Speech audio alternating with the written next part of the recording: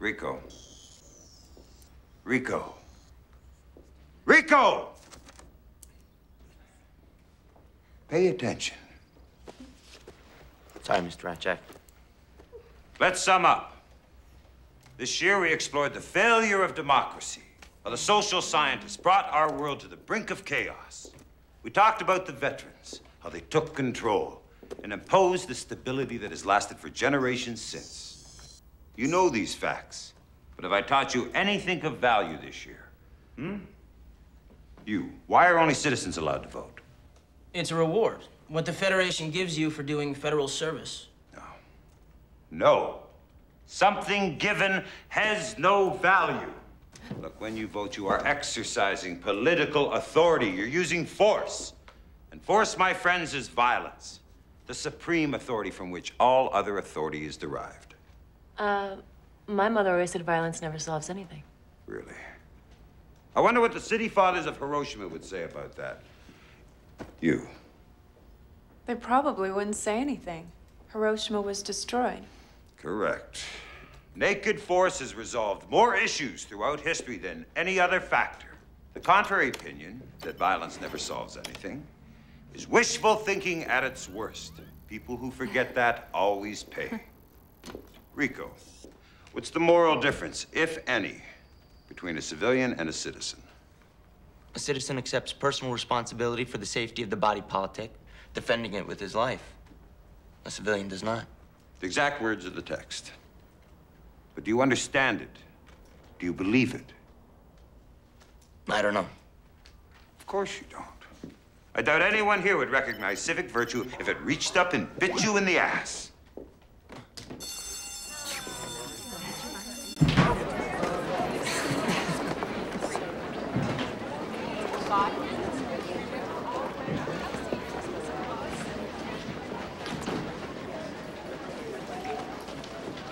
Not here.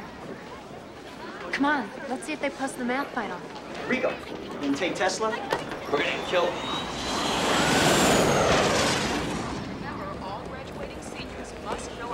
First thing Fleet Academy looks at is your math scores.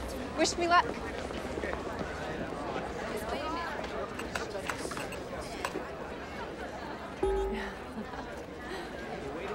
Good job. Your turn. Hold on. I want to talk to Marco. His sister's at Fleet. Marco! Hi, Carmen.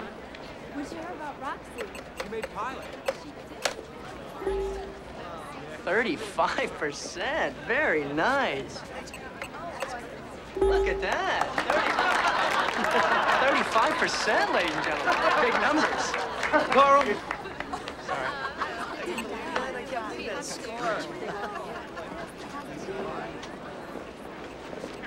So you haven't done it yet, have you? Don't lie. I'm not in any hurry. Others are waiting. Did you read her mind? Don't have to. It's pretty clear what she wants. Yeah. But I want Carmen. Oh, you got it bad. Bye, Marco. Hey, don't forget about this afternoon. He's always late when he walks you home to fish for a kiss. Get out of here. Marco's sister made pilot. So will you. I mean, imagine flying a half a million tons of Starship. You got have nerves of steel. Yeah, you do. Let's see how yours hold up. You may begin.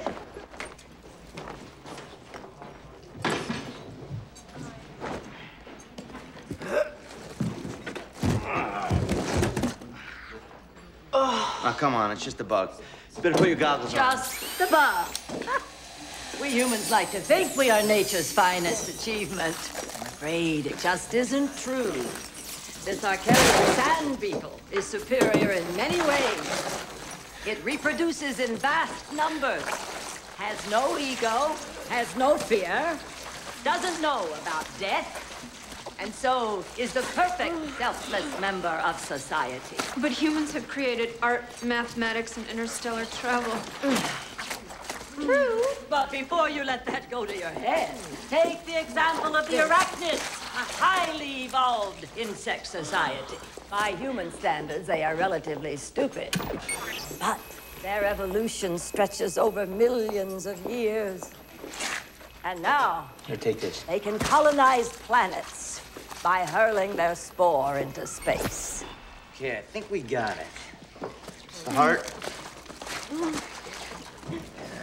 Here's the stomach.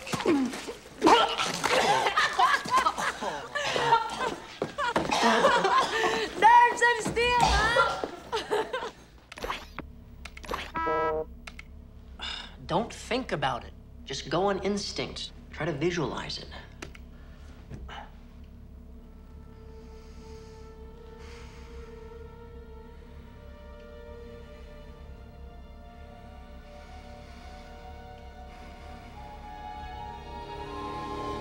I see the ace of spades. Uh, you know, statistically speaking, you should have accidentally guessed right by now. Try another. So my psychic abilities are zero and I'm unlucky. Now, luck's not a factor. No one really knows why some people are sensitive and some aren't. Who knows? Maybe it's a new stage of human evolution. That's why they do these kind of federal studies. But Cyrano... Shit. Time out. Oh, he just wants some attention. You don't play with him anymore. Cyrano. Go bug mom, Cyrano.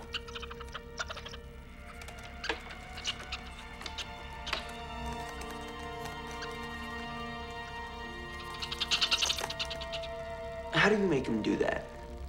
Oh, I gave him the impression there's a grub crawling up my mom's leg. He's on a mission to go eat it.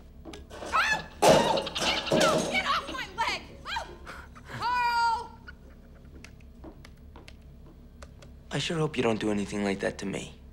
Don't be afraid. Can't do human. Yet.